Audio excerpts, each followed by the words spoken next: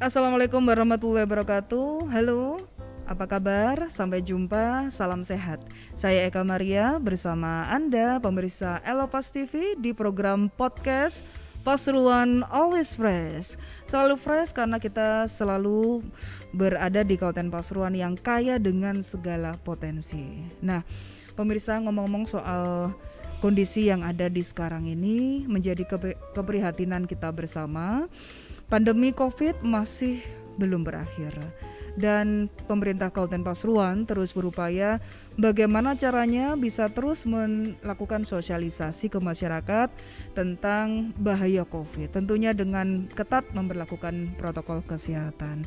Tapi ada hal yang juga sangat penting nih yang perlu kita ketahui bersama pemirsa.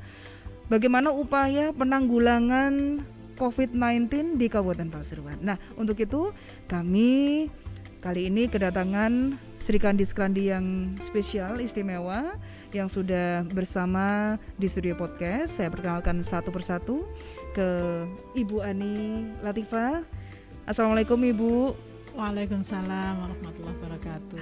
Apa kabar dokter? Alhamdulillah baik-baik. Sehat. Sehat ya, sehat luar biasa. Yeah. Baik.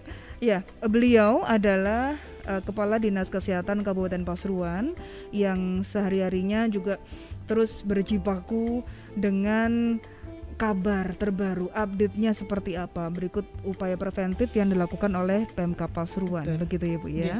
Nanti kita akan ngobrol lebih lanjut lagi, tapi sebelumnya um, kita kenalkan juga ini sebelah kanan saya. Assalamualaikum Ibu. Waalaikumsalam Mbak Eka dan juga untuk semua pemirsa I Love Fast TV. Semoga kita semua senantiasa diberikan kesehatan. Amin ya rabbal alamin. Nah, Dokter Arma Rosalina, beliau adalah Direktur Rumah Sakit Bangil. Bangil ya, RSUD Bangil yang yang menjadi rumah sakit rujukan Covid di Kabupaten Pasuruan. Baik, pemirsa, Beliau-beliau sudah kami perkenalkan untuk Anda semuanya. Nanti sesudah jeda yang berikut ini kita akan kembali menjumpai Anda. Jadi tetaplah bersama kami di podcast Pasuruan Always Fresh.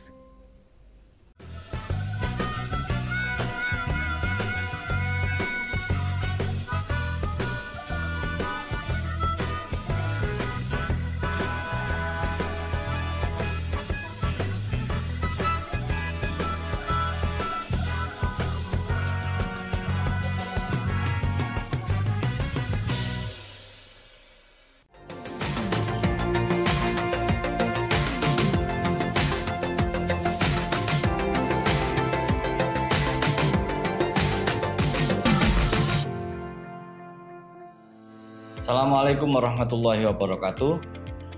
Bismillah, Alhamdulillah, salatu wassalamu ala rasulillah, wala hawla wala quwata illa billah. Semoga kita semua selalu diberikan eh, kesehatan dan dijaga oleh Allah subhanahu wa ta'ala. Yang saya hormati, saya muliakan para alim ulama, para tokoh masyarakat, para tokoh agama, dan seluruh masyarakat Kabupaten Pasuruan yang saya cintai COVID-19 di Kabupaten Pasuruan sudah mulai kembali naik.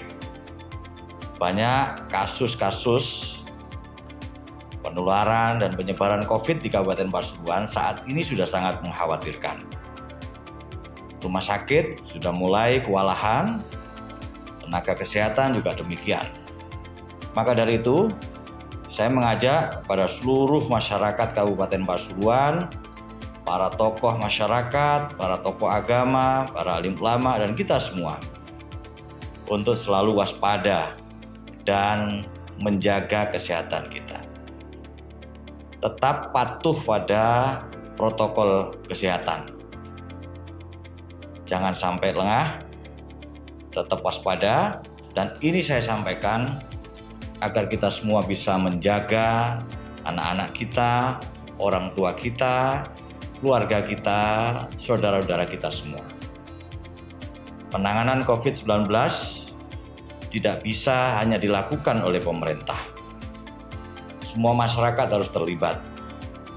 Dan sekali lagi, kita dalam kondisi kritis.